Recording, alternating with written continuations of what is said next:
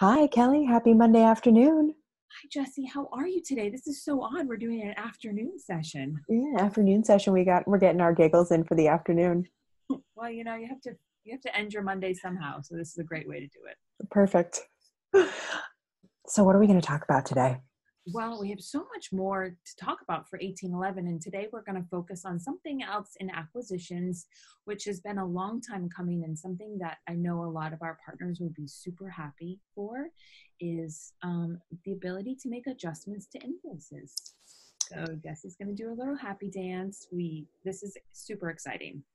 I know we've been waiting for this for quite some time. Um, it'll be super easy now for staff and librarians to enter in any type of um, changes that were made after the fact for receiving that invoice.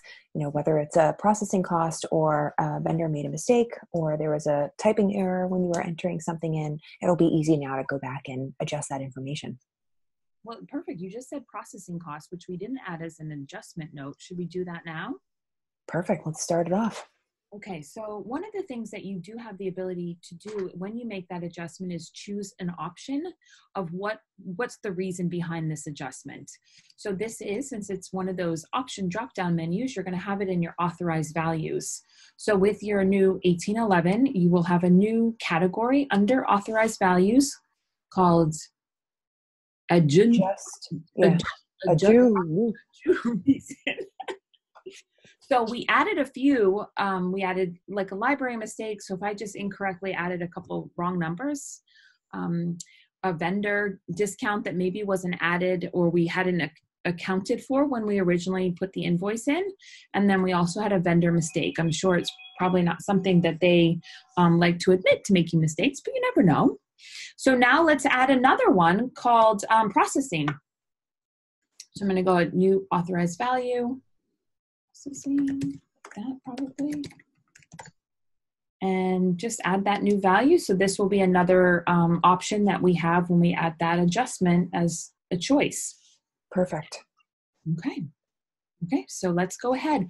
We're gonna probably what let's start with maybe an invoice that we've already closed and we've just realized that we made a mistake or they made a mistake. That's perfect. So, yeah, let's go right into acquisitions and look for an invoice. Perfect. So I'm going to go into my acquisitions. Let's go into our invoices. Let's go to Amazon, search it up. Um, Okay, so we have this invoice number. Who knows who wrote that C notes? That was definitely me. And there is a closed invoice. So let's go ahead and click that invoice. So now you can see I have this, this top portion that's normally there. And then I have an area called adjustments. And so this will give us a nice new table um, that allows us to add additional information in. Okay, so let's go ahead and add an adjustment. So we have it, we can add an amount. Let's see, how much was this for? This was a $10 Richard Scarry's Pat Pie Rats Ahoy Richard Scarry book. That was a tongue twister. I loved Richard a I do too. Um, so what, $2 sound like a good adjustment? Perfect. So if we're going to um, add two dollars, we would keep that in the positive. If we were going to take two dollars, we'd make that into the negative. Who knows? But we're going to take two dollars off and say that it was a vendor discount. Maybe they, maybe it was like buy one get one. Uh, no, because we only bought one, but it was a discount. Now you saw that I picked that reason from the drop down. So those are the ones we had pre-populated. And I love, as always, Koha loves to give us notes. So let's make a note. Let's do JZ and KPM. Here we go. And we're going to say what fund that we want to make that adjustment to come off of. And I can see, thank you very much, I can actually see the fund over here. But if I wanted to change it, could I do that? I'm probably make it come out of a different fund than this invoice. Yeah, I wouldn't. It would probably screw up your numbers immensely, but It if you probably wanted to.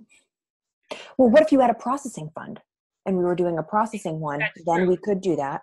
That's true. You're absolutely correct. You're absolutely correct. um, we do have this encumber while invoice is open. So you do have the ability to encumber that when the invoice is open. Ours is a, currently a closed invoice, so we can ignore that. Yep. And then we go ahead and update this adjustment. Okay, we are all set. So now let's go back to our fund to go ahead and see that adjustment. So here we are at the funds that we made the adjustment for, adult book. Um, we can see the items that we have ordered and spent, so we've received those. At the bottom, I can actually see my adjustment of $2, and if you were to make multiple adjustments, they would all line out. One item that is currently a bug, and we'll put that in the blog post for anyone to follow or make comments on, um, is the fact that this adjustment cost is linked to the line um, of Richard Scarry and not the actual invoice number. So that will be corrected because the invoice is actually C note. It's not invoice 20. Thank you, Kelly.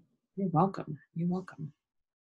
All right, so why don't we do an example now where we're actually going through and we're receiving something and we, you know, finish the invoice and then we're like, sugar, honey, and iced tea, we forgot to do something. Absolutely, absolutely. So, okay, so let's find a basket that we can either um, first close and then receive or go ahead and receive. So I have here a basket Kelly, basket number 14. Let's go ahead and view that. It looks like there is one item ordered and one item ready to receive City Dog, Country Dog. Perfect. Go ahead and close this basket. Good first step. And now let's go ahead and receive it. All right. Invoice in hand. Invoice in hand. I'm going to give it a beautiful invoice number of Jay Z. Yes. Fun fact my dad just told me that people call him Jay Z. And I said, people call me Jay Z at work. Oh my gosh, that's cool.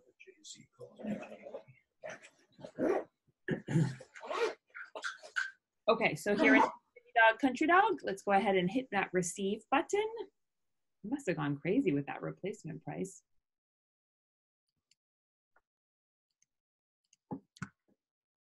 And go ahead and hit save.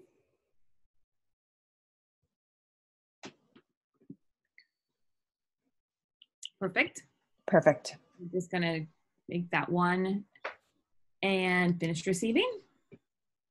We're not gonna close the invoice, but we're going to realize adjustment needed. So we're here at, at that second stop. And now we're gonna go ahead and just add that adjustment. The invoice is still open, so I'm gonna hit add an adjustment. How much is this one? $25. What do you want to, what do you kind of adjustment do you want to do, Jesse? Um, you know, let's do 175. $175? No, just 175, like $1.75. Wait, negative, right? Yep. Let's make, well, I guess we could show a positive example now.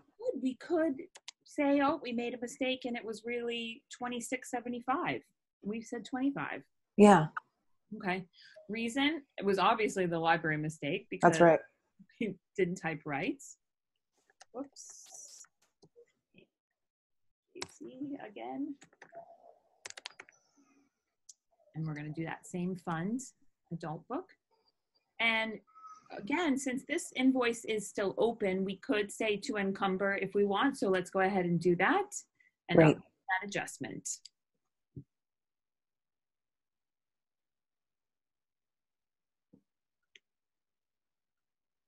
As we scroll down on the invoice details, you can see it was originally 25 and now it's telling me my total plus adjustments is 2675. Perfect. Perfect. And for those of you who print them out, you can still do that Control P uh, or Command P if you're on a Mac and print out that information. There it is. There she be. Perfect. This is, I'm so excited. This is super exciting. I think this has a lot of, um, this has a lot of librarians super happy to see this. And we're happy to do a video to show you the steps. We'll include a blog post to this. everything looks really good. Um, maybe next week we can roll in and talk about some of the other acquisitions updates we'll see because we do have quite a few more. We do. We love acquisitions, and we know that these tutorial videos really help with the new updates and enhancements. Great. I'm so happy to have joined you today, Jesse, in this video time. Thank you, Kelly. We'll look forward to next week. Okay, sounds good. Have a fabulous rest of your Monday. You too, Kelly. Thank you. Bye. Bye.